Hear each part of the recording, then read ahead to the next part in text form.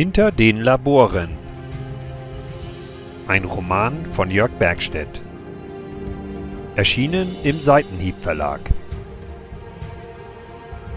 Teil 12. Das Ende.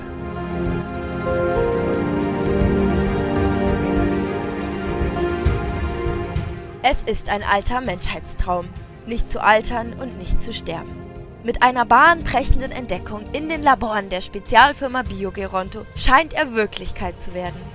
Doch Komplikationen treten auf. Die Technik wird teuer und es bedarf der Forschung an Embryonen. Gesellschaftlicher Widerstand regt sich. Üblicherweise kein Problem für modernes Firmenmanagement, denn soziale Bewegungen sind handsam geworden. Doch diesmal verläuft die Sache anders. Die Branche gerät unter Druck und macht Fehler. Laborbaustellen werden besetzt, dann zerstört. Auch die Polizei nimmt ihre Gegnis zu leicht und muss lernen. Eine Sonderkommission ermittelt. Das Drama nimmt seinen Lauf. Zwischen Spurensicherung, Vernehmungen, öffentlichen Debatten und Strippenziehen hinter den Kulissen der Forschungsförderung entwickelt sich ein Krimi der besonderen Art. Glauben Sie ja nicht, die fantastische Erzählung konnte irgendetwas Wahres enthalten.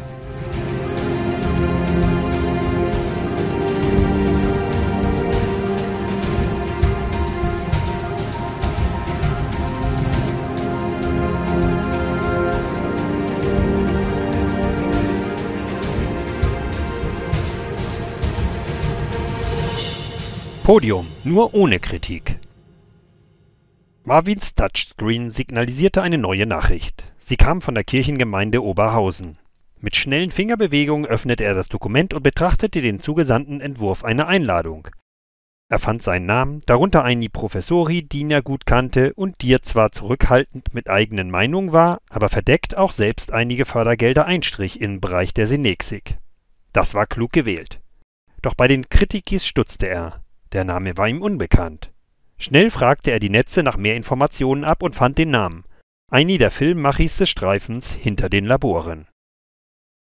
Ich gehe da nicht hin, sagte Marvin später in der Strategierunde. Mit denen kann Mensch nicht diskutieren. Aber solche Veranstaltungen sind doch wichtig, fragte Danny.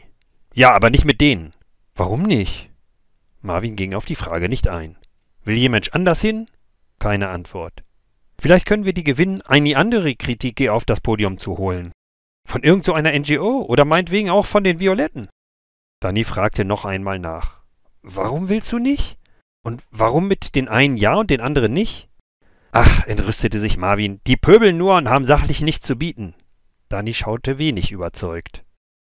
Das ist halt ein Unterschied, wie die argumentieren und wie die NGOs, versuchte Ajit eine Erklärung. Im Film Hinter den Laboren geht es um angebliche Seilschaften, um Betrügereien mit Geld. Wir werden da als Personen angegriffen. Ja, und? Nun ja, das ist schon allein ziemlich schwierig. Wir sind an Sachthemen interessiert, aber die lassen sich mit denen kaum diskutieren. Aber es gibt auch eine Moderation. Das stimmt zwar, aber auch die Sachthemen sind mit denen schwierig. Warum? Die behaupten, dass es uns darum gar nicht geht. Worum soll es uns gehen? Um Geld. Aber da können wir doch argumentieren. Schon, aber die bringen dann Zitate. Was für Zitate? Welche von uns? Wie, welche von uns? Naja, es gibt Texte und heimliche Aufnahmen, wo wir so etwas tatsächlich sagen. Das verwenden die dann. Was soll ich dann sagen, wenn der Satz von mir selbst stammt oder von jemandem wie euch? Danny ließ eine Pause. Gut, verstanden. Das klingt nicht gut. Und die NGOs machen das nicht? Jedenfalls kenne ich das nicht. Warum eigentlich nicht? Genau weiß ich das auch nicht. Ich glaube, die stellen lieber Themen in den Mittelpunkt als den Angriff auf uns. Warum? Wahrscheinlich aus den gleichen Gründen wie wir, um seriös zu wirken. Das soziale Geschwafel bringt Applaus und Anerkennung. Naja. Und dann gibt es eben mehr Zuschüsse und Spenden all der Leute, die Angst haben, zu kurz zu kommen. Denen geht es doch auch immer vor allem ums Geld. Aber die verstecken das. Warum hast du auch gesagt? Marvin überlegte. Ja, siehste, so kommen diese dummen Sätze zustande, die die dann zitieren. Wieder meldete sich Marvins U-Pad, diesmal kam der Anruf von der Soko. Die wollten einen Termin für ein direktes Gespräch, möglichst schnell. Wir sitzen hier in der Strategierunde, aber in ungefähr einer Stunde könnte ich mir einige Minuten freischaufeln. Gut, dann sind wir in einer Stunde da. Was ist mit der Uni? Ajit eröffnete ein weiteres Thema und sah Marvin fragend an. Die hat sich nach den Überfällen nicht öffentlich geäußert. Das stimmt, leider. Ich fürchte, dass Sie nach dem Auftritt der Senatorin in der Vergebrunde keine Hoffnung mehr haben. Zumindest was die Finanzierung von Forschungstätigkeiten in der Senexik angeht. Aber wir haben mehrere Leute dort. Was ist mit Chris? Der ist doch fein raus, stichelte Karen. Der hat seit Monaten nicht mehr erkennen lassen, dass er uns seine Berühmtheit verdankt und dass wir daran alle Anteil haben. Nicht nur er. Früher hat er immer Hausarbeiten vergeben, die dann hier in den Laboren stattfanden, hat uns Praktikantis vermittelt. Ja, das ist schon lange nicht mehr passiert. Der verlässt das sinkende Schiff. So ein Quatsch, wir sinken nicht. Glaubst du das wirklich oder ist das nur noch Durchhalteparole? Lass uns doch mal die laufenden und beantragten Projekte einzeln durchgehen. Was hat noch Zukunft? Was kann verlängert werden? Welche Anträge laufen noch und haben welche Chancen? Wie viel Geld bringt was? Und wie viele Leute brauchen wir für welches Projekt? Marvin drehte die Darstellung des Touchtables zu sich und öffnete die Projektdatenbank. Knapp eine Stunde später standen die beiden Beamtis in der Tür. Milana und Sigi waren pünktlich. Höflich warteten sie eine Weile, bis Marvin aus der Strategierunde ins Büro kam, ließen es sich aber nicht nehmen, einmal an allen Arbeitswaben vorbeizuschlendern und sich die Räume anzusehen. Dann begrüßten sie die hereinkommende Strategierunde. Wollen wir in Ruhe sprechen? Ja, auf jeden Fall. Dann lade ich Sie zu einem Essen oder einem Getränk in den Besprechungsraum der Kantine ein. Gerne. Moment. Marvin tippte ein paar Mal auf den Touchscreen. Ja, der Raum ist frei. Gehen wir. Die drei wandten sich Richtung Tür. Karin, willst du mitkommen? Worum geht es? Weiß ich nicht so genau. Die beiden sind von der Sonderkommission der Polizei. Er schaute sie an. Eigentlich gilt, je weniger Ohren, desto besser, warnte Melana ein. Aber ich kann nicht meine eigenen Leute hintergehen. Was ist schon eigene? Ändert sich das mit der Lage? Marvins Blick verriet Erstaunen über diese offenen Worte. Trotzdem, mir wäre das wichtig. Na dann, nehmen Sie sie mit. Die vier verließen das Büro und fanden sich wenig später im kleinen Gesprächsraum wieder, der schon so oft Ort wichtiger Abklärungen war, die nicht für andere Köpfe bestimmt waren.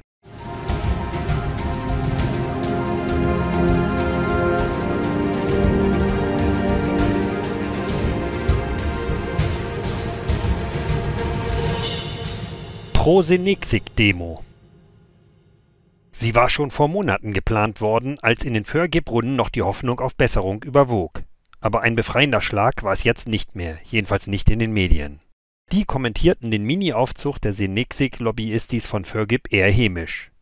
Drei Stunden standen Demonstrantis, organisiert von einem Senexik-Lobbyverein, am Bauzaun. Missmutig machten sie Demodienst nach Vorschrift.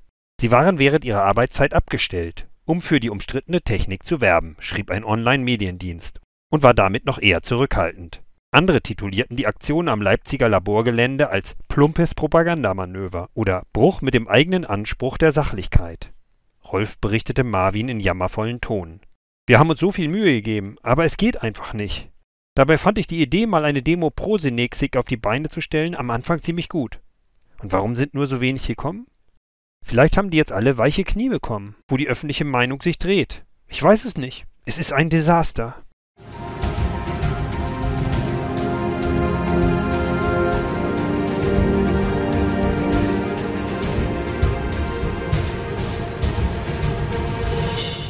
Strategierunde. So, fangen wir an, eröffnete Marvin die Strategierunde. Was liegt an? Sie sammelten einige Tagesordnungspunkte. Gut, meinte Marvin mit Blick auf die Liste auf dem Touchtable. Ich hätte dann auch noch einen kleinen Bericht von unserem Gespräch mit den Soko-Leuten, aber das können wir vielleicht am Ende machen. Nö, meldete sich Ajit. Mach das doch am Anfang, damit wir alle Bescheid wissen. Marvin schaute auf. Oh, ist das so wichtig? Keine Ahnung. Ihr seid so geheimnisvoll von dannen gezogen. Tja, es ist eine unsichere Zeit. Ich weiß nicht mehr, wem ich vertrauen kann und wem nicht. Schlecht für uns, wenn das nicht mehr geht. Aber die Strategierunde ist das Herz und Hirn unserer Firma. Wenn es da nicht geht, ist ohnehin alles verloren. Das stimmt wohl. Meinetwegen fangen wir damit an. Marvin schaute zu Karen. Willst du erzählen? Kann ich schon machen. Du warst auch dabei? fragte Danny. Ja, das wollte ich auch. Ich finde es schlecht, wenn wichtige Sachen nur von einer Person verfolgt werden. Wir sind ein Team und müssen das auch bleiben. Marvin stützte den Kopf auf beide Hände. Er hatte inzwischen in nie Menschen mehr volles Vertrauen, aber widersprach lieber nicht. Er hätte auch keine Ideen zum Umgang mit dem Misstrauen vorbringen können. So lauschte er Karens Bericht über den Vorschlag der Soko, den Weiterbau des gläsernen Labors zu simulieren, um die Baustellen zerstörerisch zu einem neuen Angriff zu verleiten. Die Soko selbst würde dann die Fallen aufbauen, mit denen die Tetis gefangen oder zumindest sicher identifiziert werden. Müssen wir denn da überhaupt noch was machen? Eher nicht. Da wir ja schon öffentlich bekannt gegeben haben, den Ausbau nicht mehr weitermachen zu können, wäre es nicht besonders glaubwürdig, wenn wir das nun doch tun. Die Soko hat deshalb vorgeschlagen, einen anderen Träger des gläsernen Labors zu finden, der quasi als Investor einsteigt und die Mehrkosten trägt. Und wer soll das sein? Hier hoffen die auf uns, dass wir die entsprechenden Kontakte knüpfen. Deren Vorschlag war UPLS. Denen würde das finanziell auch zugetraut. So käme kein Verdacht auf. Von uns würden sie sich wünschen, dass wir diese Übergabe öffentlich mitvertreten, zum Beispiel mit einer Presseerklärung oder einem entsprechenden Medientermin vor Ort. Irgendwie so etwas wie eine Schlüsselübergabe. Toll. Großer Konzern übernimmt Projekt von kleiner Firma. Damit degradieren wir uns aber selbst, schaltete sich Marvin nach langem Schweigen wieder in die Runde ein. Karen überlegte ein wenig, aber befand dann, das ist doch gut. Also vielleicht nicht für uns, aber gerade das könnte die Tetis doch reizen. Zustimmendes Schweigen. Es käme also darauf an, UPLS zu gewinnen. Und das, ohne dass dort allzu viele intern mitbekommen, dass alles nur ein Fake ist. Wenn die Nummer rauskommt, wird die Sache nicht nur scheitern, sondern ist es auch unendlich peinlich. Alle schauten auf Marvin. Okay, ich mache das. Was haben wir sonst schon noch an Möglichkeiten?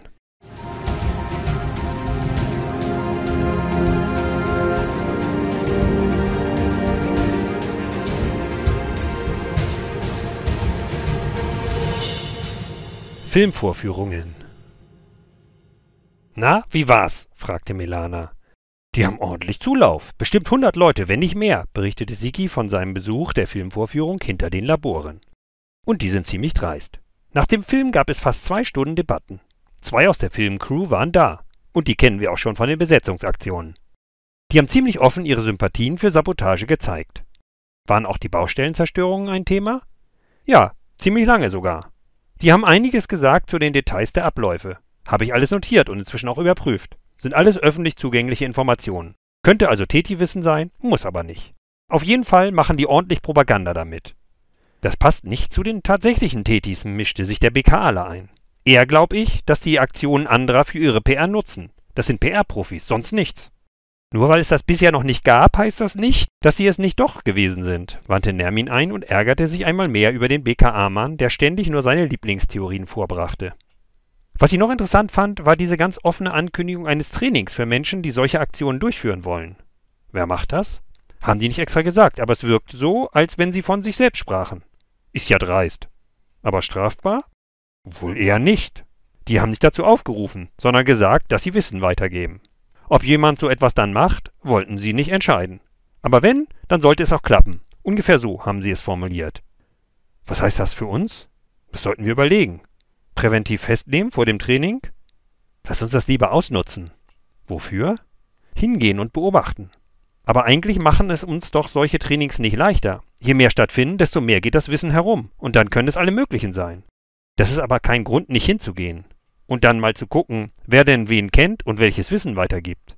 Falls es überhaupt aus diesen Kreisen kommt, blieb der BKAler seiner Linie treu und fügte an, mir wäre es wichtig, dass wir die bisherige Wachschutzfirma in die Falle mit einbauen und dann ebenfalls ständig überwachen. Die dürfen auch nicht wissen, dass alles eine Fälschung ist. Das ist in Ordnung, meinte Nermin. Und sei es nur, um diese Theorie endlich vom Tisch zu bekommen.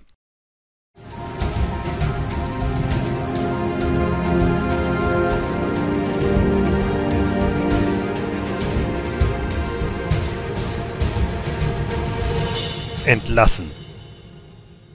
Na toll. Erst wird mir eine rosige Zukunft versprochen und kaum läuft es schlechter, war's das. Marvin fand keine Worte der Beruhigung. Es war das erste Mal, dass er Menschen gegenüberstand, die er entlassen musste. Die auslaufenden Förderprogramme ohne Aussicht auf ähnlich große Neuzuweisungen machten eine Weiterarbeit in der gleichen Mitarbeit die Zahl unmöglich. Den übrig bleibenden blieb aber auch kein gedanklicher Raum zur Freude. Was ist mit SENS? E die hatten doch immer Geld für uns. Hatten, musste Marvin auch hier antworten. Noch liegt keine Antwort auf unsere letzten Anträge vor, aber früher ging es immer recht schnell. Jetzt passiert gerade gar nichts.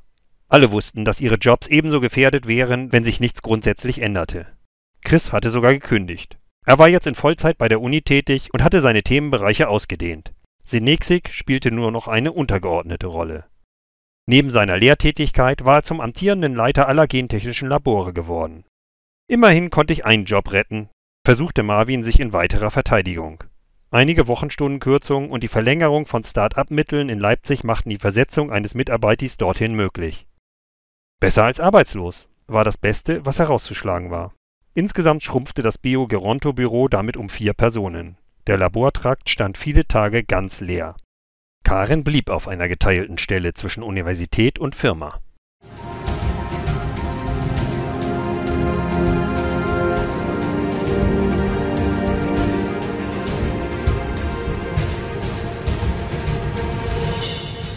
Gläsernes Labor die zweite. Milana kam in den Raum. Es klappt. Was? Die Sache mit der Falle. UPLS ist dabei. Die wollen eine eigene Presseerklärung raushauen, sogar schon im Vorfeld. Das ist vielleicht schlau. Sollten wir machen. Dann laufen die schon mal warm und alles geht schneller. Dann lass uns die Aufgaben verteilen. Da ist einiges zu tun, damit alles klappt. Naja, wir entwickeln ja nur die Strategie. Die technische Umsetzung werden die vom LKA machen müssen. Wir sollten aber alle Drähte selbst in der Hand haben. Egal zu wem. Die anderen Abteilungen, Biogeronto, UPLS, die machen sonst alle ihr eigenes Ding. Wieso meinst du das? Wir fahren auf einem untergehenden Schiff mit. Da gibt es nur Eigeninteressen. Jedi schaut nur noch, für sich zu retten und rauszuziehen, was geht. Dann sind wir ja eher Moderatoris. Im Sinne dessen, dass wir nicht nur die Strippen in der Hand halten, sondern auch ständig auf das gemeinsame Ziel festnageln müssen? Schon. Okay, tragen wir die Aufgaben zusammen und schauen, wer was übernimmt. Ich mache die Abklärung mit dem LKA hinsichtlich der Maßnahmen für die Fallen, zeigte der BKAler sein Interesse an den technischen Fragen. Will da noch jemand zweites mitmischen? Ja, ich, meldete sich Sigi. Gut, ich halte weiter den Kontakt zu den Biogerontos, legte sich Melana fest. Dazu würden dann auch die ganzen Sachen mit Presseinformationen über den Neustart des gläsernen Labors gehören, oder? Ja, denke schon. Und der Kontakt zu UPLS? Wäre doch auch sinnvoll, wenn du das dann gleich mitmachst, weil das eine ähnliche Geschichte ist. Ja, kann ich mir vorstellen. Weitere Aufgaben wurden gesammelt und zugeordnet. Es folgten Stunden und Tage, in denen im Soko-Zimmer nur selten Menschen zu sehen waren. Viele Absprachen waren nötig, bis die Sache langsam in Gang kam. Die machen das gut, meinte Nermin bei einem ihrer seltenen Zusammentreffen. Gemeint war UPLS, deren PR-Leute den Scheineinstieg ins gläserne Labor als große Pressesache mit Ortstermin inszenierten. Das bot eine gute Möglichkeit, unauffällig die LKA-Leute auf dem Gelände die Falle vorbereiten zu lassen. Von den Aktivistis war niemand zu sehen. Seltsam, meinte Melana zu Nermin. Beide waren vor Ort, um Ausschau zu halten, ob sich je Mensch verdächtig verhielt. Keine Ahnung. Vielleicht verlassen die sich auf ihre Erfahrung. Die kennen den Zustand ja. Wenn's immer die gleichen sind? Oder die Wachschützis? Beide schauten zu den schwarz uniformierten Personen hinüber. Sie waren wieder vor Ort. Alles wie vor der großen Zerstörung. Und blieben dem Kern des Geschehens fern. Eher unverdächtig, oder? Ja, hätte ich auch erwartet. Der BKAler hängt anscheinend an der Theorie, aber ich glaube das nicht. Guck dir die doch an. Traust du denen das zu? Milana zuckte mit den Schultern. Beide gingen weiter um das Gebäude, ohne irgendwelche auffälligen Dinge zu entdecken. Einige Tage später schickte auch Biogeronto eine Pressemitteilung ab, in der die Fortführung begrüßt, gleichzeitig aber die Benachteiligung der kleinen Firmen beklagt wurde. Schließlich rollten die ersten Baumaschinen. Alles sah wie echt aus, von den Fallen war nichts zu sehen. Die dienten ohnehin nicht dem direkten Zugriff, sondern sollten alle möglichen Arten Spuren erzeugen und festhalten. Versteckte Nachtkameras und Mikrofone ohne externe Stromversorgung, DNA-Fallen, Farbpulver, Sprengdepots und einiges mehr. Das große Warten begann.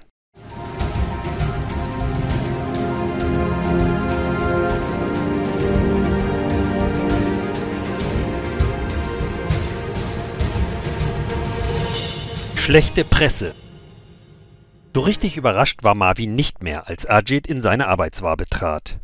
Einige große Online-Medien haben Stories über die Geldflüsse zur Senexik veröffentlicht. Marvin stöhnte.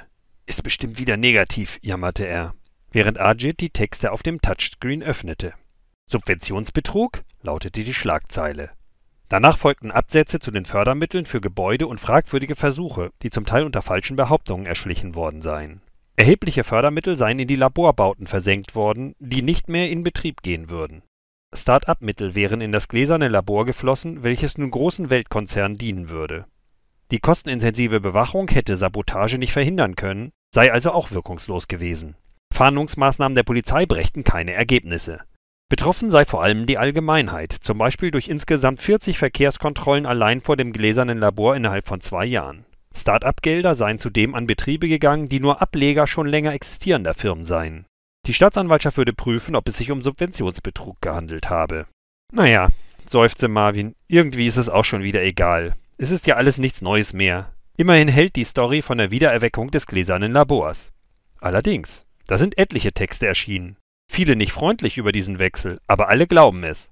Schön ist es ja nicht, die Welt belügen zu müssen. Selbst die meisten Mitarbeitis hier. Ajit sah sich um. Niemand schien sie zu beachten.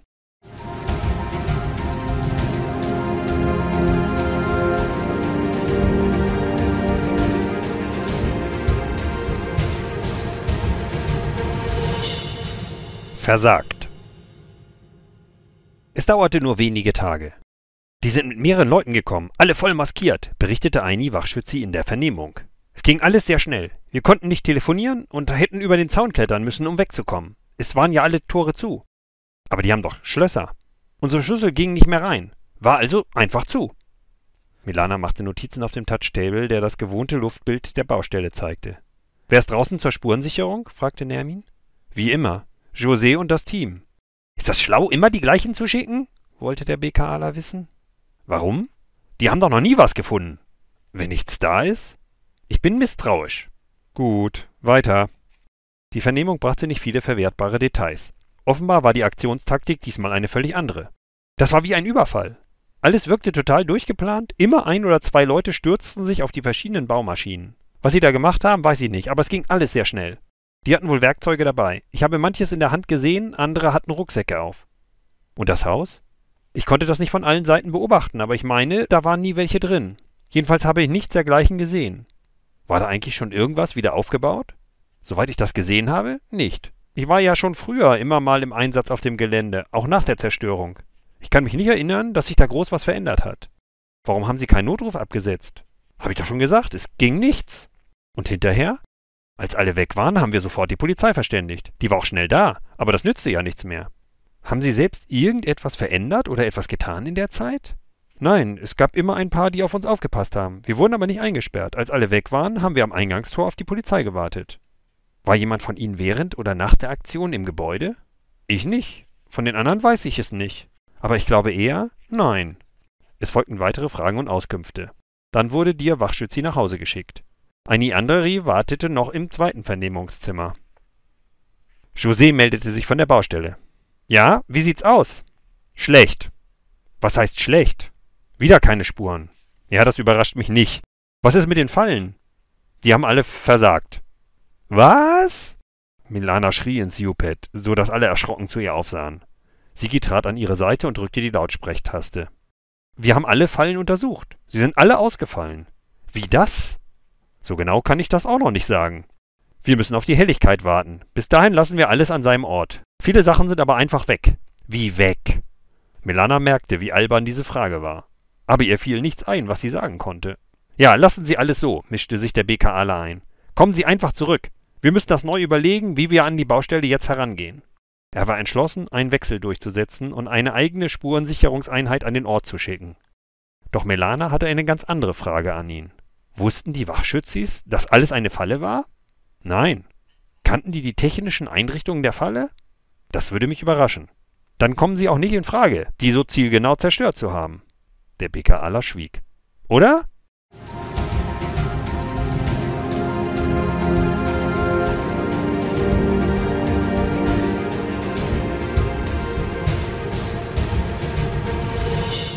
Bergab. Wir bedauern den Rücktritt unseres Vorstandes Chris Barmann, der leider heute nicht anwesend sein kann, und danken ihm für seine herausragende wissenschaftliche Arbeit, aber auch für die langjährige Führungstätigkeit und wertvolle Repräsentation, eröffnete Marvin als Versammlungsleiter den Tagesordnungspunkt Neuwahlen. Die Sache war allen Anwesenden bekannt und ließ keinen Zweifel offen. Es stand schlecht um die Sache Senexig. Der Dank war eine Höflichkeit. Intern hatte der Rücktritt einigen Ärger gemacht. Hinter vorgehaltener Hand warf Manchi dem ehemaligen wissenschaftlichen Flaggschiff des Vereins Verrat vor. Geholfen hatte es nicht. Der Posten ließ sich ohne Probleme mit einer anderen Person besetzen, aber ein weiteres Stück Glanz war abgeplatzt. Schlechte Nachrichten prägten ebenfalls den Top Finanzen, denn weitere Fördergelder waren weggebrochen. Perspektivisches ließ sich kaum heraushören. Bei fast jedem Thema überwog das Jammern über die kriminellen Gegnis, opportunistische Politikis und den ewigen Slogan vom Untergang des Forschungsstandortes Europa.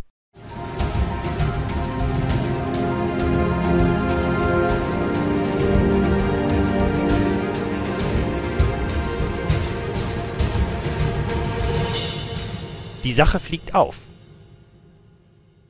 Die Sache mit der Falle am gläsernen Labor war gescheitert. Keines der aufwendig und teuer aufgebauten Systeme sicherte irgendeine Spur. Bei den verschwundenen Geräten konnte gar nicht geklärt werden, was mit ihnen geschehen war. Auf den verbliebenen konnten keine Dateien gefunden werden. Die müssen einen Weg gefunden haben, alle Datenträger auf dem Gelände zu löschen, hatte José am Ende festgestellt. Auch die Speicher in den U-Pads der Wachschützis waren komplett gelöscht. Zum Glück hat es niemand mitbekommen, meinte Milana auf einem Auswertungstreffen und sollte sich irren. Zwei Wochen später erschien die erste Schlagzeile zum Fall.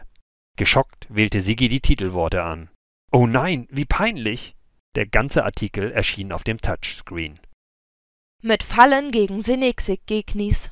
Wie Wirtschaftslobby und Polizei in Deutschland gegen Laborzerstörungen vorgingen.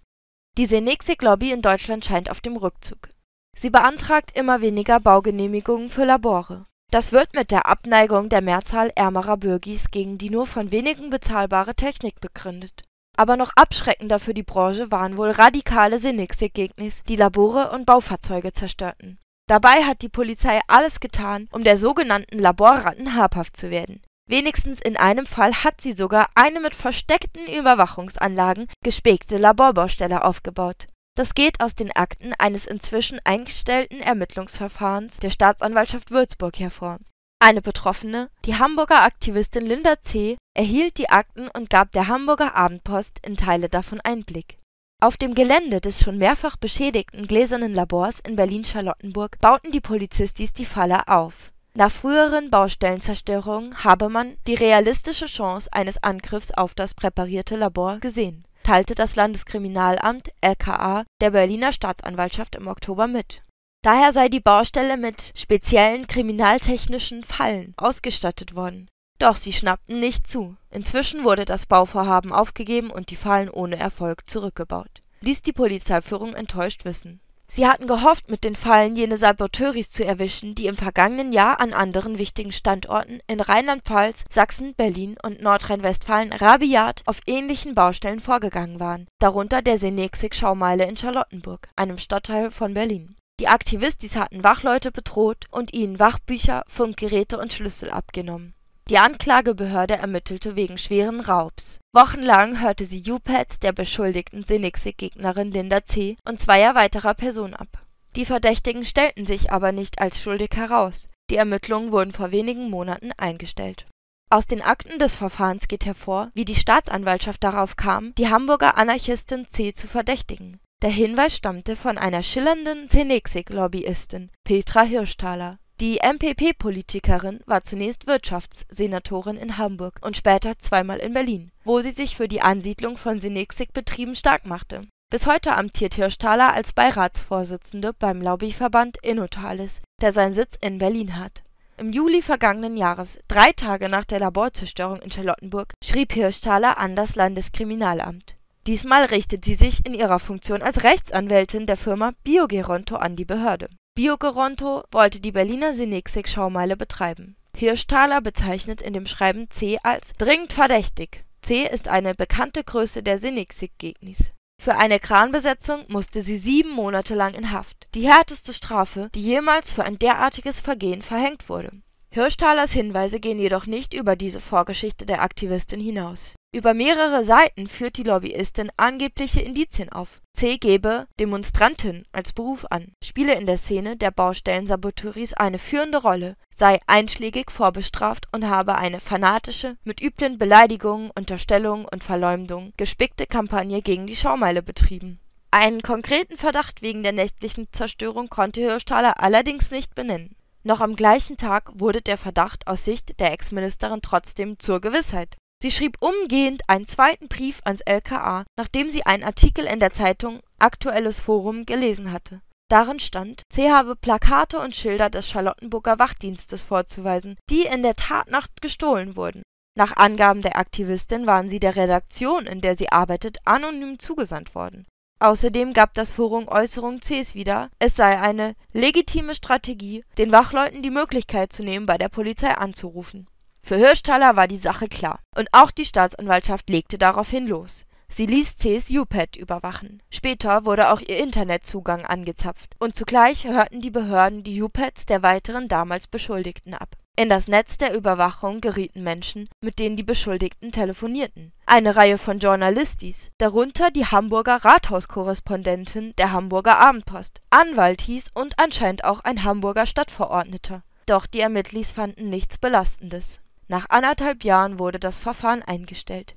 Jetzt schießt C. zurück. Sie erstattete Anzeige gegen Hirschthaler wegen falscher Verdächtigung. Nicht der Eifer der Ermittlis scheint zum Rückgang der Laborzerstörung zu führen, sondern der Rückzug der Senexik-Firmen. Dieses Jahr wurden nur zwei Laborbaustellen zerstört. Es gab aber auch nur noch drei. Sie wurden rund um die Uhr bewacht. Das kostete Geld und dürfte ein Grund für das Zurückweichen der Senexik sein. Hab ich immer gesagt, entfuhr es Svenje aus der Spurensicherung, die sich mit der Soko-Runde getroffen hatte. Das war eine Scheißidee. Ja, ja, wissen wir, kam es zurück. Svenje schaute hoch. Du wiederholst dich. Weiß ich, aber es wollte ja niemand auf mich hören. Naja, ganz so stimmt das ja auch nicht. Wir mussten das ja machen. Quatsch, befand Svenje. Wenn wir alle gesagt hätten, dass es das so nicht bringt, hätten wir das auch durchgesetzt. Ist doch egal. Die Presse vergisst es wieder und alle anderen auch. So ein Text verändert die Welt nicht. Das mag sein, aber es ärgert mich trotzdem. Außerdem ist das nicht gesagt, dass da nicht noch mehr kommt. Ihr wisst genau, was da noch im Keller liegt bei der Sache. Einen Tag später zog sich UPLS auch öffentlich wieder aus dem Projekt zurück. Das führte zu weiteren großen Texten in den Medien. Großlabor ohne Erfolg. Berlin investierte Millionen in die Forschung und scheiterte. Die letzte Bastion ist gefallen. In Berlin wird es voraussichtlich kein Labor für Senexik mehr geben. Das sagt Heide Mutscherlich, Vorsitzende von Innotalis. Die Vereinigung von Krankenversicherungen, Pharmakonzernen und Forschungseinrichtungen unterstützt seit Jahren die Senexik-Labore. Dieses Jahr hatten die Konzerne UPLS und Seneca noch drei Baustellen im Land. Es waren die einzigen in Deutschland. Im kommenden Jahr wird es wohl gar keine neuen Bauaktivitäten geben. Gescheitert sind damit vorerst auch die Bestrebungen des Senats, Berlin als Forschungs und Wirtschaftszentrum für die Senexik zu etablieren die erhoffte Erfolgsstory wurde nicht geschrieben. Die Geschichte verdient eher den Titel Pleiten, Pech und Pannen. Berlin ist Forschungsstadt. Die Universitäten stehen für beste Lehr und Forschungsbedingungen in Deutschland. Innovative Pharmafirmen hatten hier einst ihren Sitz. Mit dem Frieda-Berstedt-Institut, Bundesforschungsinstitut für Mikromedizin am Tiergarten und dem Institut für Humangenetik und Altersforschung (IHA) verfügt man noch heute über zwei international renommierte Forschungseinrichtungen Trotz Skepsis in großen Teilen der Bürgerschaft erkor die Stadtregierung die Senexik als eine der Zukunftstechnologien. Das Abarbeiten unseres Nachholbedarfs wird nicht gelingen, wenn wir nur nachmachen, was andere vormachen, sagte vor über fünf Jahren die damalige Bürgermeisterin Renata Syriacs (CPU MPP-Wirtschaftsministerin Peter Hirschthaler stampfte eine sogenannte Humanmedizin-Offensive für über 160 Millionen Euro aus dem Boden, die auch der Senexik zugutekommen sollte. So wurden in Charlottenburg mit der Schaumeile und in Dahlem mit dem Senexik-Park zwei neue Technologiezentren gebaut. Neue Firmen siedelten sich aber kaum an. Zwei Jahre nach der Eröffnung hatten sich erst zwei Unternehmen mit insgesamt 17 Mitarbeitern eingemietet Investiert hatte auch eine Tochter der ökonomischen Sammlungsbewegung Berlin-Brandenburg in den Bau, die jedoch öffentlich unter Druck geriet. Die Christengemeinschaft und ihre Firmen wurden nicht glücklich. Die Förderung von Senexik werde nicht als Aufgabe von Kirchenorganisationen angesehen, ließ sie mitteilen. Der Ärztibund unterstützte zwei Labore zur Senexik für Forschungszwecke. Die Beteiligung von Ärztis blieb aber spärlich. Dazu meinte Selene Freuging, Chefin des Ärztibundes es gibt zwei Dinge auf der Welt, für die man keine Versicherung bekommt: Atomkraft und Gentechnik. Auch die Senexik arbeitet mit Gentechnik. Nach der Startphase erschwerte die damalige orange-grüne Bundesregierung den Aufbau neuer Senexik-Labore. Vor allem die Haftungsregelungen für die Krankenhäuser wurden verschärft. Das Land Berlin klagte dagegen vor dem Bundesverfassungsgericht und scheiterte. Die obersten deutschen Richtis argumentierten, dass die sozialen Folgen der Senexik noch nicht endgültig geklärt seien dies war Wasser auf die Mühlen der Gegnis. Immer wieder wurden auch Baustellen und Labore etwa der Charlottenburger Schaumeile von Aktivistis zerstört. Innotalis-Chefin Mutscherlich spricht vom Genickbruch. Wenn die Arbeit von Jahren in einer Nacht zerstört wird, dann ziehen sich die Unternehmen irgendwann zurück. UPLS gab Anfang dieses Jahres bekannt, dass die Senexik-Sparte von Deutschland nach Südafrika verlagert wird die Tochter Suncenix in Halle, die jahrelang an der Entwicklung von Messinstrumenten für Labortests zur Senexik gearbeitet hatte, wird geschlossen. Auch der Senexik-Park in Dahlem stand vor der Insolvenz. Rettung brachte ein neuer Investor. Die Altersforschungssparte des Chemiekonzerns Holztis hat sich seit diesem Jahr angemietet und baut in den Räumen ihr weltweites Nervenzentrum auf. Gearbeitet wird aber nicht an der Senexik, sondern konventionell.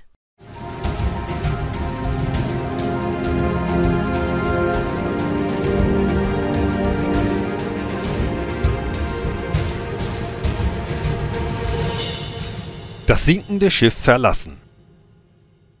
Marvin seufzte. Das ist alles ein Desaster. Ach was, entgegnete Karin. Wir haben doch jahrelang super davon gelebt. Ich denke, es ist Zeit, was Neues zu suchen. Die Sache hier ist verbrannte Erde. Wie? Du willst uns verlassen? Karin zuckte mit den Achseln. Toll. Und wohin soll die Reise gehen? Die Großen sind stabiler. Da bietet sich bestimmt was. Die suchen immer nach Leuten mit Erfahrung. Sie erinnerte sich an einen Mitschnitt der Schulungen ihrer Gegnis und den Film über die Seilschaften. Wie sie die Gruppen gehasst hatte, die dahinter standen. Zu den Sätzen, die sie genau in Erinnerung hatte, gehörte dieser. Die kleinen Firmen werden mit Steuergeldern und Patenten vollgepumpt. Und dann wird alles geräuschlos in die großen Konzerne rübergeschoben. Es ärgerte sie doppelt, dass diese Leute, die alles kaputt gemacht hatten, nun auch noch Recht bekommen sollten. Zumindest für sie persönlich. Nach einer Pause sagte Ajit, es hätte alles viel schlimmer kommen können. Was denn noch? Ajit machte eine vielsagende Handbewegung. Strafverfahren? Hausdurchsuchung? Fördergeldrückforderungen? Was noch? Niemand antwortete. Habt ihr das Interview mit Sonja Schumann schon gelesen? Welches? Das von heute Morgen. Nein? Ajit initialisierte den Touchtable und holte den Wortlaut hervor. BZ das gläserne Labor in Charlottenburg war mehrere Jahre das Aushängeschild der Senexik-Politik in Berlin. Sind die Messen endgültig gesungen? Sonja Schumann. Ja, die Senexik hat in Deutschland keine Zukunft. Große Teile der Bevölkerung lehnen sie ab. Für mich war das ein Lernprozess. Wenn ein Konzern wie die UPLS oder kleinere Konkurrenten bei der Öffentlichkeitsarbeit so schwerwiegende Fehler machen, dann kann ich das vor den Menschen nicht mehr verteidigen. BZ Bisher hieß es, es soll Platz für alle sein, Forschung für die Gesundheit der breiten Masse, wie auch der Eliten einer Gesellschaft. Gilt das nicht mehr? Schumann Ich glaube inzwischen nicht mehr, dass beides nebeneinander möglich ist. Praktisch nicht, finanziell nicht. Bis heute konnte man sich nicht auf die Verteilungsregelungen der Fördermittel einigen. BZ Was bedeutet das für Berlin? Schumann Für die Senexik gibt es in der Stadt keinen Platz mehr. Der Senat setzt auf eine klassenlose Medizin und Gesundheitswirtschaft, auf soziale Gerechtigkeit. Dazu kann und muss die Forschung einen Beitrag leisten. Das bietet übrigens Chancen, die bisher viel zu wenig genutzt werden.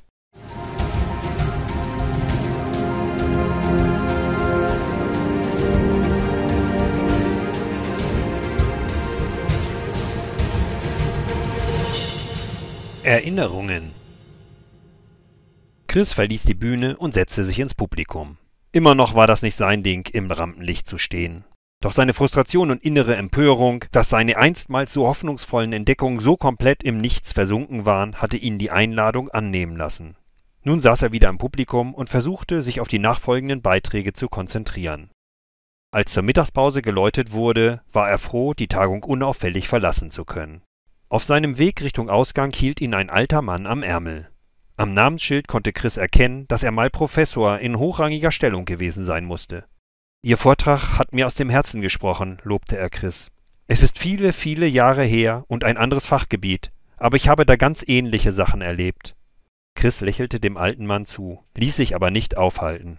Es war ihm einerlei, ob er das erste, einzige Opfer oder nur eines von vielen war zumal all die Geschehnisse ihn immer unsicherer gemacht hatten, ob der von seinen ehemaligen Weggefährtis behauptete Fortschrittshass in der Bevölkerung die Ursache war, oder vielmehr die Gier, alle guten Ideen immer nur ganz schnell zu gelten machen zu wollen. Er hatte sich damals nicht gewehrt, sondern immer zu denen gehalten, die mit seinem Wissen Profite einstrichen. Das war vielleicht sein entscheidender Fehler. Am Ende war es allen zum Verhängnis geworden, dass sie auf ihrer Jagd nach immer neuen Geldquellen dem überraschenden Druck kreativer Aktionsgruppen nicht standhalten konnten. Er wusste nicht mehr, worüber er trauriger sein sollte. Dass der Menschheit, wie er es weiterempfand, eine großartige Idee verloren gegangen war, oder dass ihm der ganz große Sprung dadurch verwehrt blieb. Vielleicht war es aber auch etwas ganz anderes, was ihn traurig machte. Dass er viele Menschen verloren hatte, die an andere Orte zogen, nur weil dort neue Profite winkten. So manchi von ihnen hatte er für Idealistis oder zumindest gute Wissenschaftlis gehalten. einige sogar für Freundis. Vielleicht waren sie das alles nie.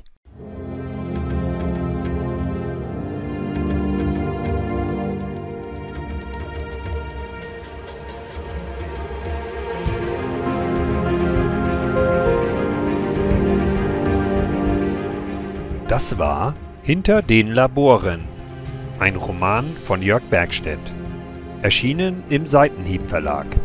Zum Abschluss folgt eine Rezension im Genethischen Informationsdienst Februar 2016.